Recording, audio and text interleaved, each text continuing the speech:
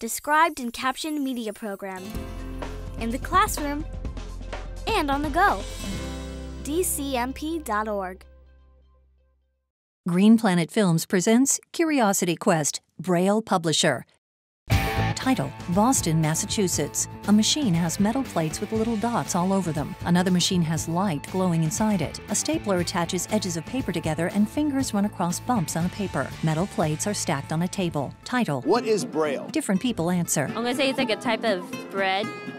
Um, some type of wood. Braille probably could be bricks, uh, hard things, rocks. Braille is the system of writing for blind people.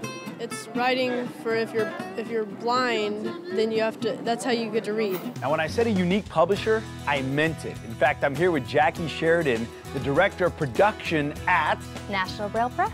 National Braille Press. So tell us a little bit about where we're at. All right, National Braille Press is a Braille publisher. We produce all sorts of books.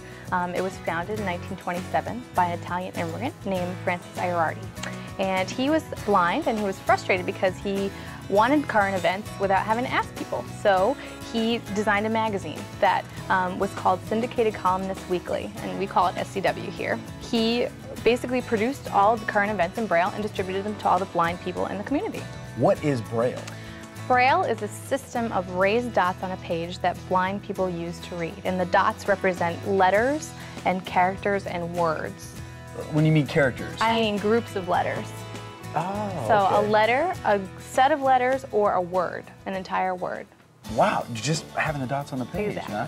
hmm Wow. It's sort of like a code, it's its own language. Now, when did Braille come about? It was basically designed by Louis Braille in 1824. Blind used to use a set of embossed letters, actual print letters, and they were really hard to navigate and read. Um, so he decided that after looking at a French naval code that he would design this system of dots that were much more usable for a blind user. So, what are we going to be seeing today? Well, today I'm going to take you through the production facility and show you how we make Braille from start to finish, where we get the print objects in or print items in and we, we basically translate them here and then we proofread them here, we produce the material that we actually make the Braille on, and then we put them through the presses and you'll see that downstairs. Okay.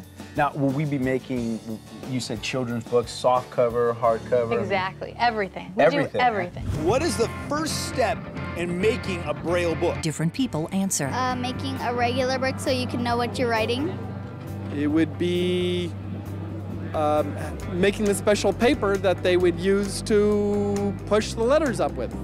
The Described and Captioned Media program provides services designed to benefit students who are blind, visually impaired, deaf, hard of hearing, and deaf-blind.